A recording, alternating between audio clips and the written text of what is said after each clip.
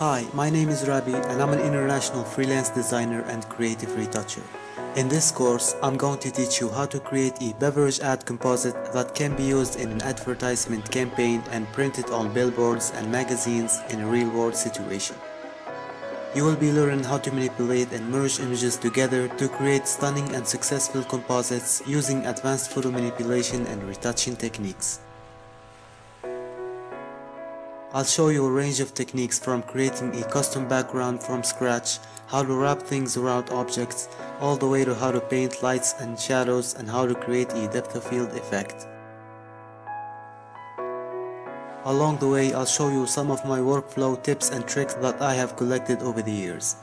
Also, I'm going to be moving fairly quick, so I'm expecting that you have a basic knowledge of Photoshop, which involves knowing how to use the essential tools like the brush tool, the clone stamp tool, the selection tools, and working with layers and layer masks.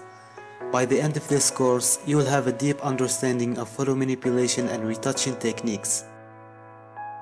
You'll be able to create professional projects from scratch using your own images shot with simple studio gears like a smartphone and a softbox.